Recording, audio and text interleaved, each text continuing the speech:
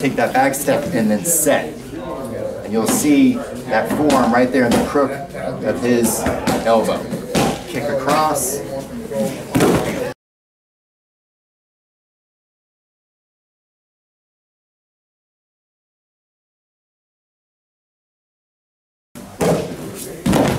I'm coming through and I'm using that part of my forearm to really push him forward and you'll notice that your your forearm, the blade of your forearm ends up in the crook of his elbow.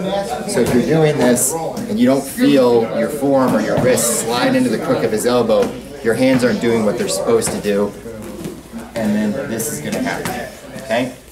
So as you're, you're coming through on this one, we're going to have one that's on the low sleeve and one that's mid to upper part of his forearm. I don't want to necessarily worry too much about this unless you've got really, really long forms. I don't, so I usually go about midpoint, okay? And that's specifically so that when I push that forearm forward, it lands in the crook of his elbow.